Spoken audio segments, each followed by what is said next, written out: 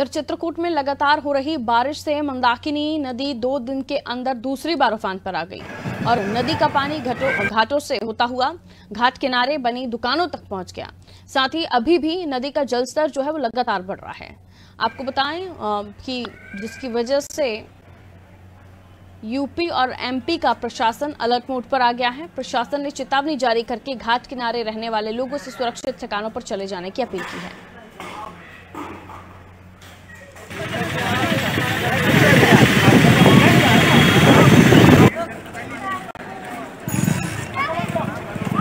आज बारिश हुई है नदी का पानी क्या है? बढ़ रहा है घट रहा? है नदी का पानी गढ़ रहा बढ़ रहा है और चौबीस घंटे से बारिश हो रही है। अच्छा। तो अभी कल घट गया था पानी। अच्छा। और आज तेज़ी से ज़्यादा तेज़ी से पानी बढ़ रहा है। अच्छा।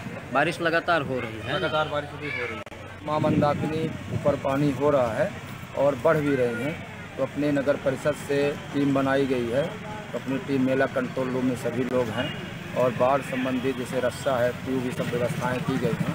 एनडीआरएफ की टीम भी, जो पुलिस विभाग से भी उपलब्ध है, उनके पास भी अपने कंट्रोल रूम में हैं। जहाँ जैसे ज़रूरत पड़ेगी तो अपन लोग इसके लिए तैयार हैं। पर यह है कि माँ मंदाकिनी का जल स्तर बढ़ रहा है।